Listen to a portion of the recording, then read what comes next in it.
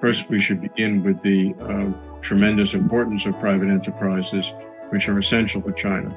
Um, I've said this before, but uh, to repeat, it accounts for 50% of fiscal revenue, 60% of GDP and investment, 70% of industrial upgrades and innovation, 90, 80% of jobs, and 90% of enterprises. And I always emphasize the 70% of uh, industrial upgrades and innovation because that cuts across all countries. I've seen that in the US as well.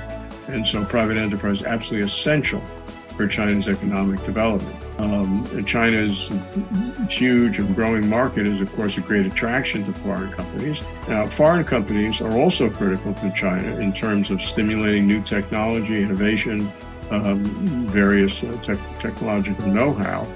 And in addition to that, um, foreign private companies, not owned by the state, of course, are very good for the Chinese consumers uh, because it, it, foreign companies can compete with local companies, which force local companies to up their game to become more competitive and to and to serve the customers well because the Chinese customers are going to buy what they think is good